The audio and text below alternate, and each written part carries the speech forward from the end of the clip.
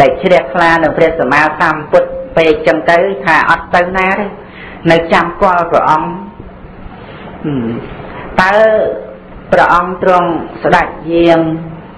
អំពីទេវលោកមកវិញនឹងក្នុងពេលណានឹងបាន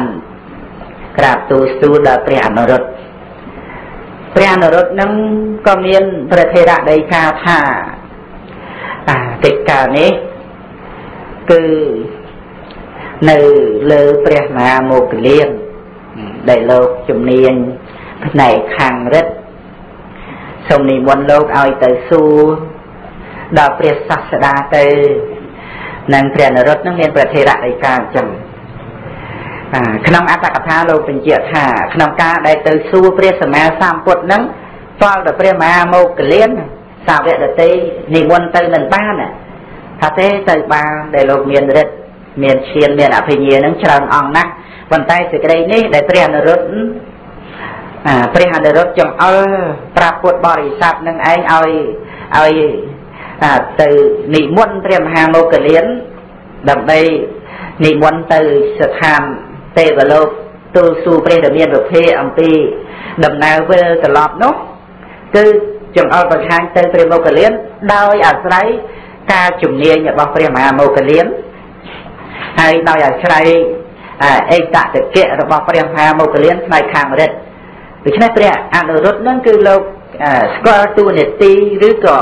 ស្គាល់ការជំនាញឬស្គាល់សេចក្តីពិសេសនៃបុគ្គលពិតមែនតែលោកអាចទៅបានដែលព្រះអនុរុទ្ធលោកមានអភិញ្ញាលោកអាចទៅបានតែលោកសូមឲ្យពុទ្ធបរិស័ទហ្នឹងទៅនិមន្តព្រះមហាមោគលាននឹងដែលយើងត្រូវដឹងអំពីធัวរបស់សពរោះនឹងដែលលោកអាចស្គាល់ បុគ្គលស្គាល់បរិស័ទអីនឹងយ៉ាងណាហើយកិច្ចការងារដែលលោកធ្វើហ្នឹងគឺថាត្រឹមត្រូវទាំងគោរពទូនាទីនៃបុគ្គលបញ្ញត្តិនឹងចឹងក្នុងការនោះកាលដែលពុទ្ធបរិស័ទនឹងបាននិមន្តហើយព្រះមហាមោគលានក៏បាន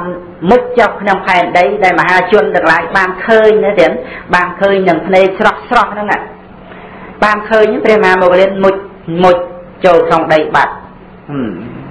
ហើយទៅ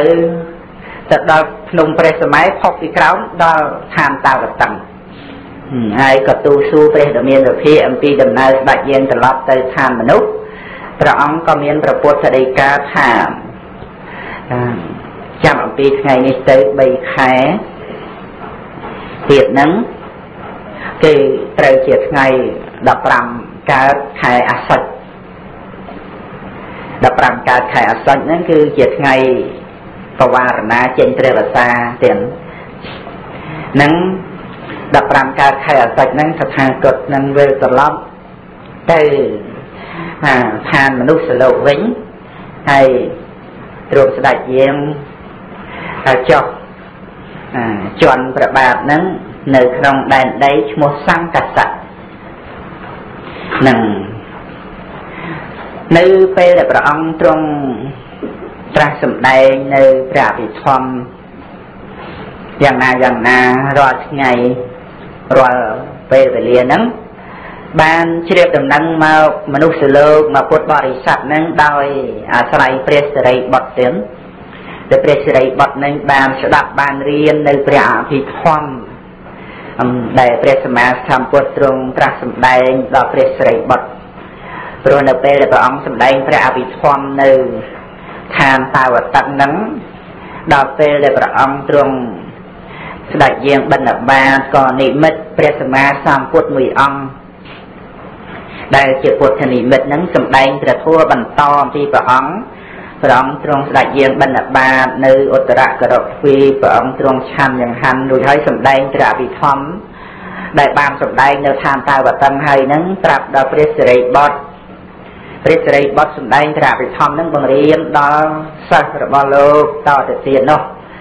នឹងចឹងហើយបានព្រះសម្មាសម្ពុទ្ធទ្រង់ស្ដេចជាងទៅសម្ដែងនៅព្រះអភិធម្មឋានតាវតឹងបន្តអំពីព្រះពុទ្ធនិមិត្តទៀតផងនេះគឺជាពុទ្ធវិស័យមិនអាចបកលដតីណាដោយព្រះអង្គស្មើនឹងព្រះអង្គបានឡើយរយៈកាល3ខែណាទាំងក្នុង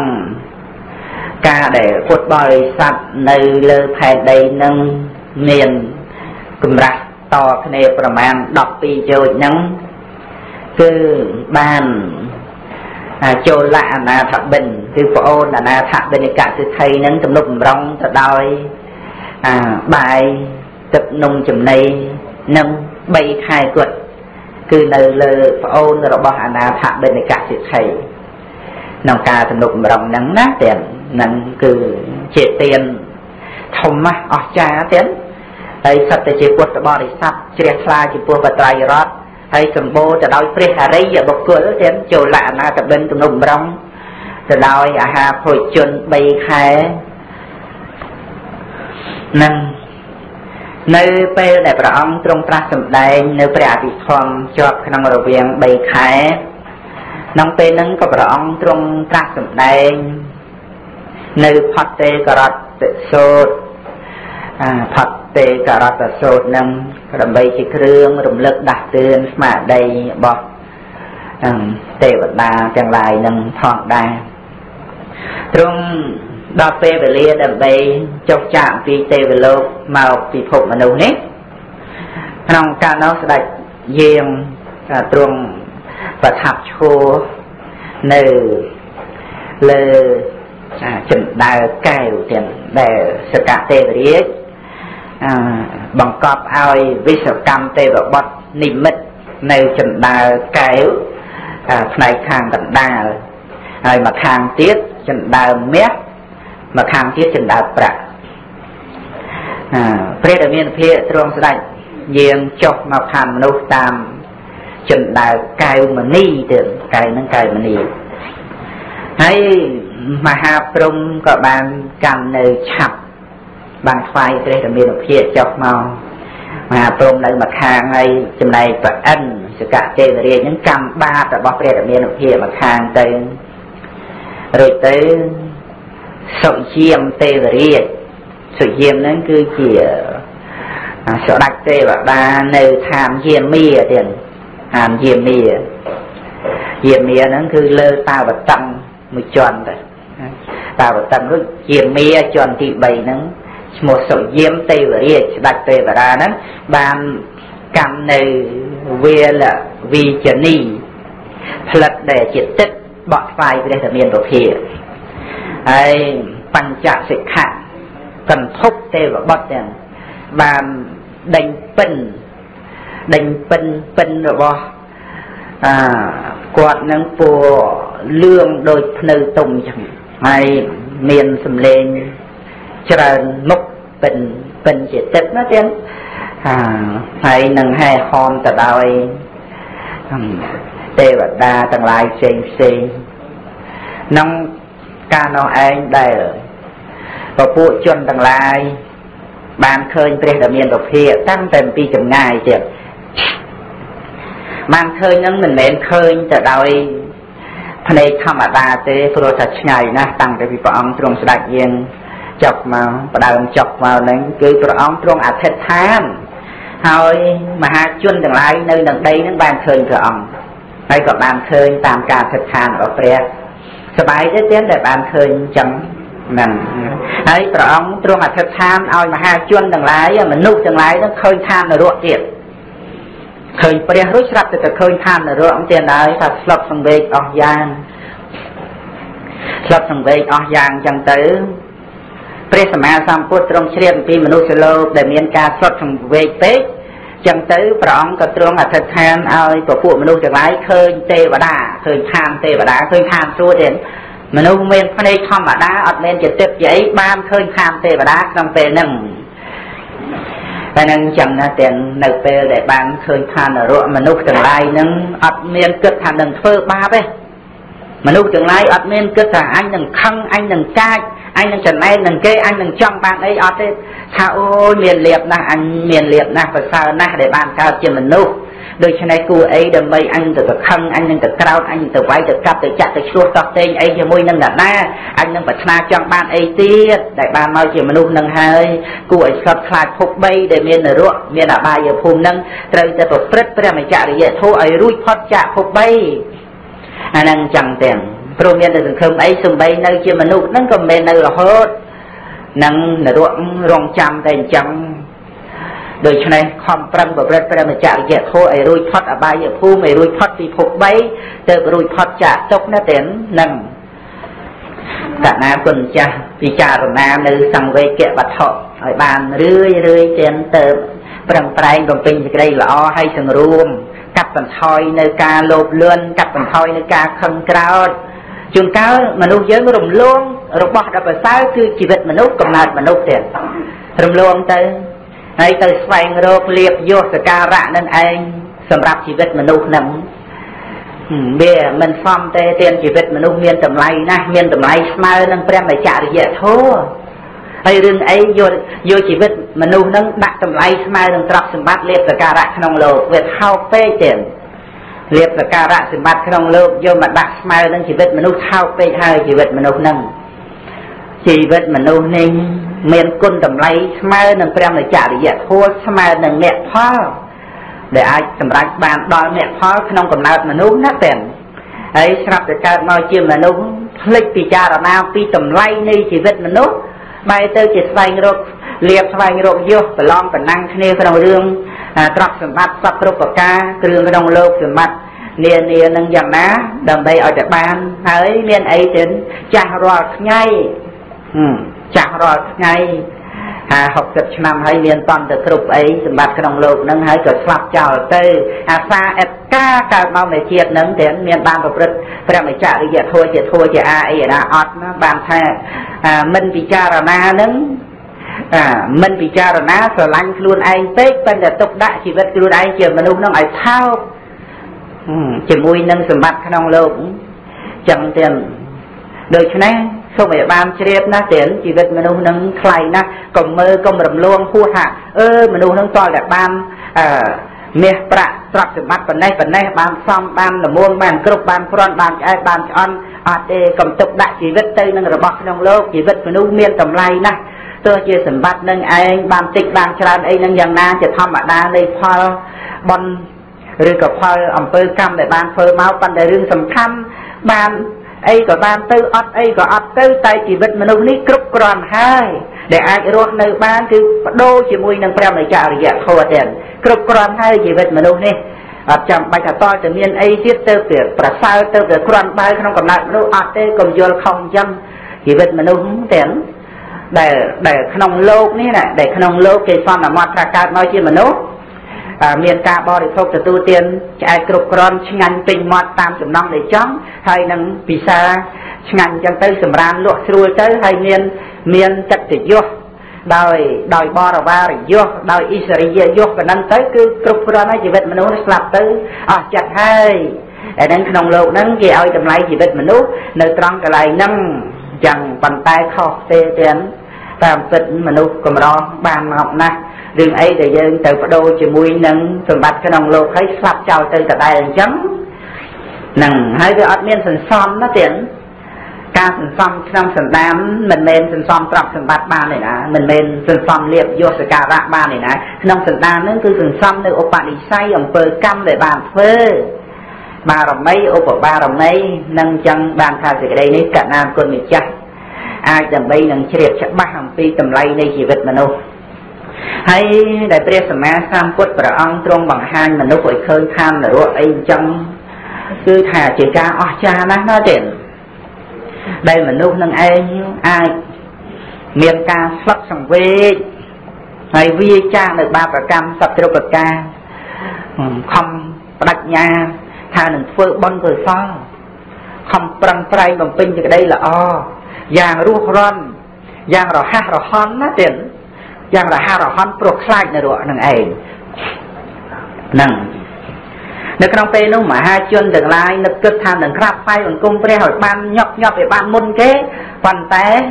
អ្នកដែលបានថ្វាយបង្គំព្រះសម្មាសម្ពុទ្ធមុនគេបងអស់គឺព្រះសិរីបុត្រទាំងហ្នឹងមុនគេបងអស់គឺព្រះសិរីបុត្រដែលបានក្រាបថ្វាយបង្គំមុនគេរួចទៅព្រះធមានភិព្រះអង្គទ្រង់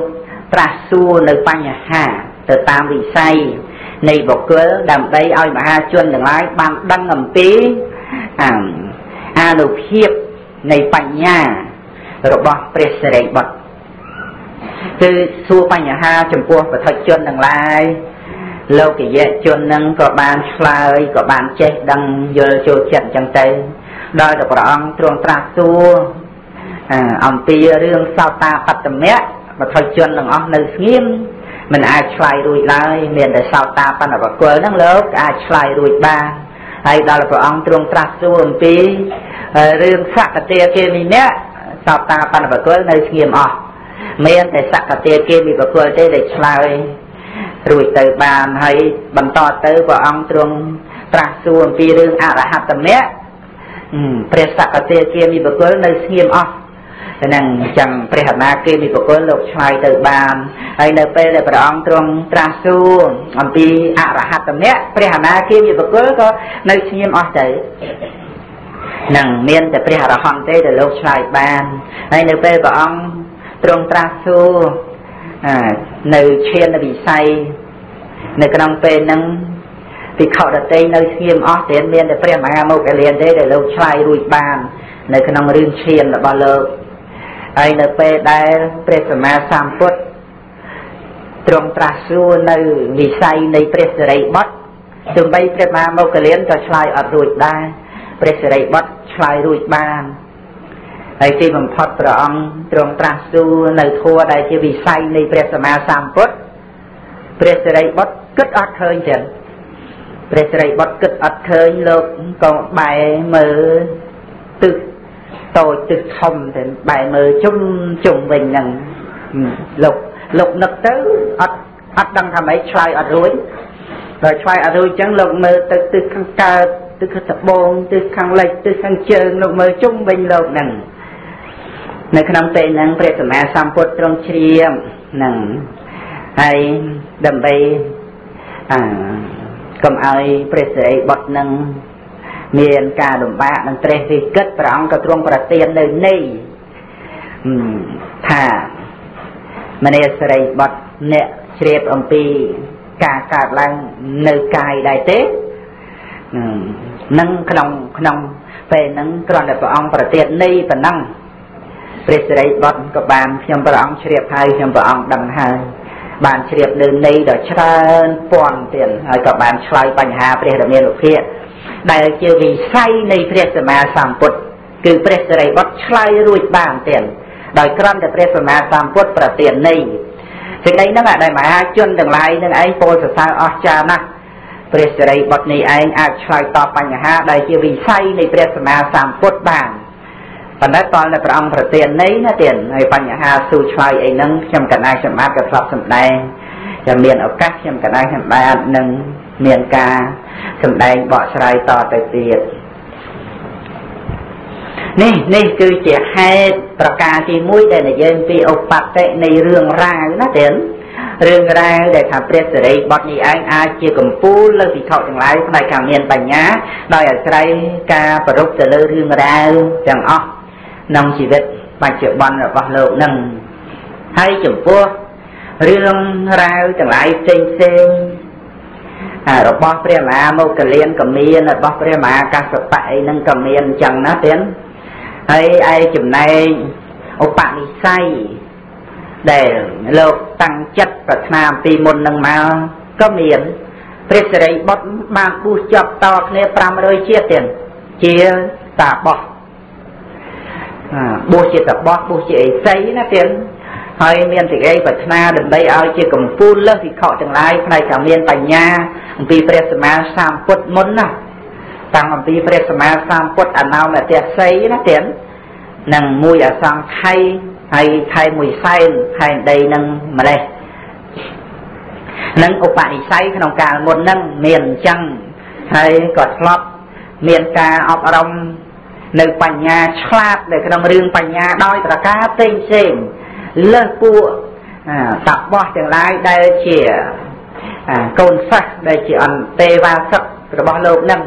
ហើយមានរឿងរ៉ាវមានជាដកទាំងឡាយផ្សេងផ្សេងដែលជាឧបនិស្ស័យនៃបញ្ញារបស់លោកអំពីជាតិមុននិងឧបនិស្ស័យនៃសេចក្តីប្រាថ្នារបស់លោកហើយដោយសេចក្តីជំនាញណាព្រានដោយសេចក្តីជំនាញដោយហេតុប្រការទី3នោះគឺព្រះសិរីបុត្រនឹង ក្នុងការសម្ដែងធัวកណ្ដាលបរិស័ទនឹងលោកសម្ដែងល្អណាស់ហហើយក្នុងធម៌អាដែលលោកសំដែងនឹងចប់តាក់ទងនឹងអរិយសច្ចធម៌សំដែងនៅអរិយសច្ចធម៌គឺល្អណាស់ជំនាញណាស់លើកលែងតែព្រះដែលមានប្រភេទចេញគឺព្រះសិរីបុត្រនឹងកំពូលទាំងផ្នែកក្នុងការសម្ដែងអំពីអរិយសច្ចធម៌គឺព្រះសិរីបុត្រនឹងកំពូលណាស់ នឹងផ្នែកខាងជំនាញរបស់ព្រះសិរីបុត្រហើយផ្នែកខាងគុណ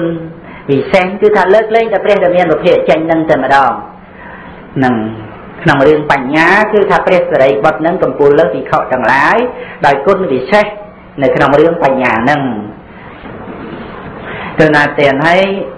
ចំពោះព្រះមហាមុខទលានក៏ចឹងដោយហេតុ4ប្រការដែរ ដើម្បីបានជាឯកតកិកដោយការស្ថាបនានៃព្រះសម្មាសម្ពុទ្ធកម្ពុជាលើសវិខទាំងឡាយផ្នែកខាងមានរិទ្ធផ្នែកខាងមានរិទ្ធឈានណាទៀតផ្នែកខាងមានរិទ្ធមានឈានសម្រាប់បានហ្នឹងគឺថាលើសវិខទាំងឡាយហ្នឹងដូចជារឿងរ៉ាវរបស់លោកក្នុងការបានសម្ដែងរិទ្ធផ្ចាញ់នន្តោបនន្តៈនិករាជអីជាដើមហ្នឹង នៅក្នុងភោវាហុងហើយខ្ញុំកណ្ដាលខ្ញុំបានធ្លាប់សម្ដែងជាច្រើនឆ្នាំមុនហើយនោះក៏សម្ដែងហើយនន្តោបនន្តៈនិករាជហ្នឹងហើយដែលព្រះមហាមុគលានទៅផ្ចាញ់បានរឿងរ៉ាវហ្នឹងអញ្ចឹងហើយដោយឧបនិស្ស័យអំពីមុនរបស់ព្រះមហាមុគលានហ្នឹងក៏ស្តៀងស្តៀងគ្នានឹងព្រះសិរីបុត្រស្តៀងស្តៀងគ្នាប្រឡូកជាអគ្គសាវកឆ្វេងទៀតនឹងចឹងហើយដោយការ ជំនាញរបស់ព្រះមហាមោគលានហ្នឹងតែជំនាញដោយរិទ្ធហ្នឹងលោកនិមន្តទៅស្ថាននរកបានណាទៀតនិមិត្តជាការឈប់ប៉ុនកង់រតេះគង់លើតបកការឈប់ចំណែងធัวក្នុងឋាននរកធ្វើឲ្យភ្លើងនរករលត់ញ៉ាំងភេទតិចដល់ពួកនរកពួកនរកក្នុងពេលហ្នឹងមានកុសលវិបាកកើតឡើងដោយចក្ខុវិញ្ញាណកុសលវិបាកដោយសោតវិញ្ញាណកុសលវិបាកណាទៀតនឹងដោយការជំនាញរបស់ ព្រះមហាមោគលានដែលភ្លើងនរកក្តៅប៉ុណ្ណាតែថាលោកអាចដើម្បីធ្វើឲ្យស្ងប់រងាប់ទៅបានដោយរិទ្ធណាហើយលោកនិមន្តទៅឋានទេវតាញឹកញាប់ណាស់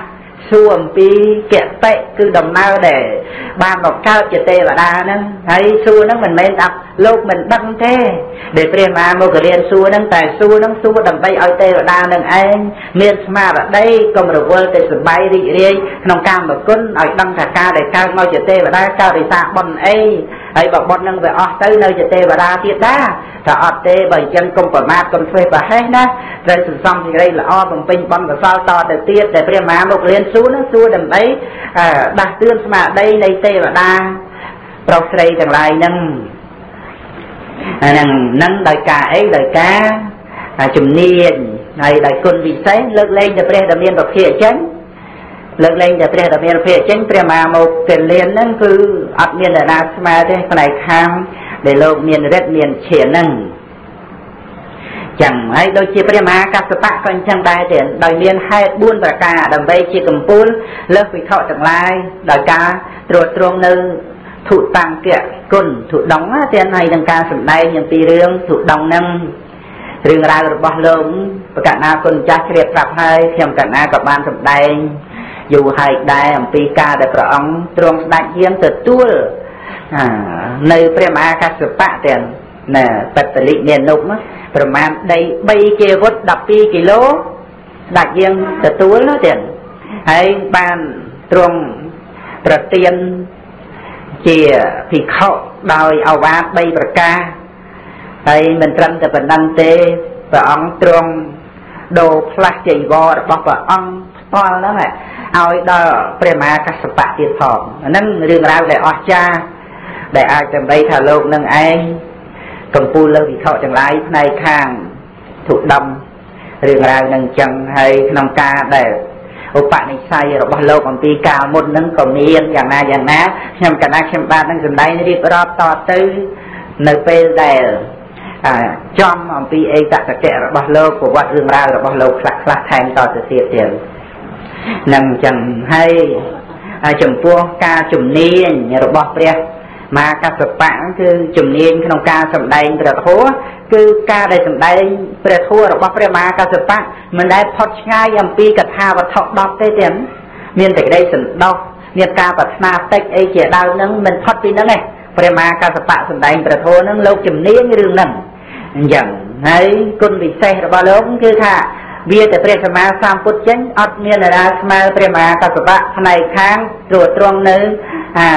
ធុដងកិគុណទេនឹងអញ្ចឹងដោយហេតុសពប្រការទាំង4យ៉ាងហ្នឹងឥឡូវបន្តទៅខ្ញុំកណាខ្ញុំបាននឹងរៀបរាប់ប្រវត្តិរបស់ព្រះមហាអញ្ញាកំបញ្ញៈទៀតក្នុងសាសនានៃព្រះសម្មាសម្ពុទ្ធណាមុនគឺព្រះសម្មាសម្ពុទ្ធបតុមុត្តរៈ ក្នុងសាសនានឹងឯងដែលព្រះធេរៈអញ្ញាកំបញ្ញៈនឹងបានកើតនៅក្នុងតកូលសិទ្ធិមហាសាលដែលមានទ្រព្យសម្បត្តិច្រើនណាស់នឹងនៅក្នុងនគរហង្សបុរីណាហង្សបុរីហង្សវតីនឹងគឺថាជានគរធំមួយនៅក្នុងសាសនាព្រះសម្មាសម្ពុទ្ធបតមុត្តរៈអឺ ហើយព្រះសម្មាសម្ពុទ្ធបតមុត្តរៈនឹងរាប់ត្រឡប់អំពីផតកັບនឹងទៅក្រោយមួយសែនគាត់ទៀតមួយសែនមហាកັບគឺមួយសែនផែនដីណាទៀតមួយសែនផែនដីមុនមុនផែនដីហ្នឹងនឹងកាលហ្នឹងគឺព្រះសម្មាសម្ពុទ្ធបដមុត្តរៈហ្នឹងដែលមានប្រជជនមួយសែនឆ្នាំណាទៀតប្រជជនច្រើនណាស់អាយុមនុស្សកាលហ្នឹងមួយសែនឆ្នាំទៀតក្នុងរវាងមនុស្សអាយុហ្នឹងគឺថា គឺព្រះសម្មាសម្ពុទ្ធត្រាស់ដឹងតែហួសជាមួយសែនហ្នឹងច្រើនទៅមនុស្សមានសេចក្តីប្រមាទគឺច្រើនណាស់ដោយសេចក្តីប្រមាទអញ្ចឹងព្រោះវាក្រស្លាប់ព្រះសម្មាសម្ពុទ្ធមិនត្រាស់ទេហើយប្រកាសណាគុណចាស់ញាតិញោមបងប្អូនជ្រាបថាព្រះសម្មាសម្ពុទ្ធបតមុត្តរៈនឹងបានជាមានព្រះនាមអញ្ចឹងមកពីអី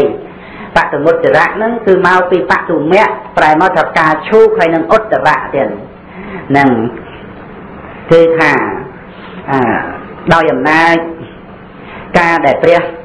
សម្មាសម្ពុទ្ធបតមុត្តរៈនឹងព្រះអង្គទ្រង់ត្រាស់ដឹងឡើងក្នុងលោកហើយទ្រង់ក្រោកឡើងយាងទៅដើម្បីសម្ដែងនៅប្រធัวប្រុសសត្វលោកហ្នឹងក្នុងជំហានជំហានដំណើររបស់ព្រះសម្មាសម្ពុទ្ធណាទៀតដែលឈានដើម្បីជន់លើផែនប្រត ថាពីជំហានមុនដំបូងក្នុងដំណើរដែលព្រះអង្គទ្រង់ស្ដេចយាងទៅក្នុងលោកដើម្បីប្រោសសត្វហ្នឹងការឈូកផុសឡើងត្រួព្រះបាទទានៃព្រះសម្មាសម្ពុទ្ធចឹងការឈូកមកធម្មតាការឈូកនឹងគ្រាន់តែត្របកការឈូកនឹងប្រវែងអាប្រវែង90ហាត់ទៀតត្របកការឈូកក្រហមហ្នឹងណា90ហាត់ ហើយប្រវែងកេសរការឈូកកេសរខាងក្នុងការឈូកកេសរខាងក្នុងតបកការឈូកហ្នឹងប្រវែង30ហាត់ហើយយើងគិតមើលមួយហាត់គិតថាកន្លះម៉ែត្រទេចុះនឹងអញ្ចឹងហើយរង្វង់ភួងនៃកេសរហ្នឹងណារង្វង់ភួងនៃកេសរហ្នឹង12ហាត់ទៀត12ហាត់ហើយទីកន្លែងដែលបដិស្ថានប្របាទនៃព្រះសម្មាសម្ពុទ្ធនឹងឯង11ហាត់ នឹងចឹងនៅក្នុងពេលដែលព្រះអង្គទ្រង់យាងទៅជន់ប្របាទលើការឈូកនឹងគ្រាន់តែកេសររបស់ការឈូកវាហុយឡើងដោយប្របាទតែជន់ទៅលើពុបកេសរការជុកខុយសពងស្រោចស្រពព្រះកាយនៃព្រះសម្មាសម្ពុទ្ធកេសរការជុកដែលហុយឡើងលើស្រោចស្រពព្រះកាយនៃព្រះអង្គនឹងប្រមាណ1លាលទៀតក្រណិតគិតលំអងកេសរការជុកស្រោចស្រពព្រះកាយព្រះអង្គ ហ្នឹងហើយជំហានទី2របស់ព្រះអង្គឈានទៅទៀតផ្កាឈូកទី1ហ្នឹងមិនតាន់បាត់ឯណានៅត្រួប្របាទរបស់ព្រះអង្គណាទៀតនឹងនៅត្រួប្របាទស្ដាំរបស់ព្រះអង្គមុនហ្នឹងប្របាទឆ្វេងជន់ពុកមួយទៀតទៅផ្កាឈូកមួយទៀតដូចគ្នាហ្នឹងផុសឡើងផុសឡើងទទួលប្របាទមួយទៀតនឹងចឹងរួចនៅពេលដែលព្រះអង្គយាងប្របាទ ទៅដោយជំហានមួយទៀតទៀតបានការឈូកមុននោះត្រូវវិន័យបាត់បាត់ឈឹងអស់ទៅលេងទៅហើយបានការឈូកមួយទៀតផុសឡើងទទួលជំហានព្រះអង្គមួយទៀតគឺមានការឈូកប្រកាសឡើងពីពីពីតាមជំហានរបស់ព្រះអង្គនឹងអញ្ចឹងហើយការឈូកដែលព្រះអង្គដកជំហានផុតហើយក៏វិន័យបាត់ទៅហើយរស្មីរបស់ព្រះសម្មាសម្ពុទ្ធបតុមុត្តរៈ 12យោជស្លាយដោយជុំវិញទៀតហើយឆ្លោះចាំងជាមួយនឹងលំអិតកេសរនៃការឈូកថាដូចជាគេសាចទឹកមាសអោភះឡើងនៅក្នុងពេលហ្នឹងក្នុងដំណើរនៃព្រះសម្មាសម្ពុទ្ធបតុមុត្តរៈអញ្ចឹងទៅព្រះអង្គទ្រង់ប្រនាមថាបតុមុត្តរៈនឹងឯងដោយសេចក្តីថាក្នុងការដែលមានផ្កាឈូកផុសឡើងទ្រព្រះបាទទានៃព្រះដ៏មានប្រភា នឹងស្ដេចយាងចូលទៅកាន់ហង្សវតីក្នុងការនោះព្រះពុទ្ធបិតាក៏បានទ្រង់ស្ដេចយាងមកទទួលព្រះសម្មាសម្ពុទ្ធព្រះអង្គទ្រង់ប្រាស់សម្ដែងនៅប្រធោញ៉ាំងអរិយមេអរិយផលដល់មហាជនច្រើនណាស់ក្នុងដំណើររបស់ព្រះអង្គមានភិក្ខុសង្ឃជាបរិវារ1សែនអង្គទៀត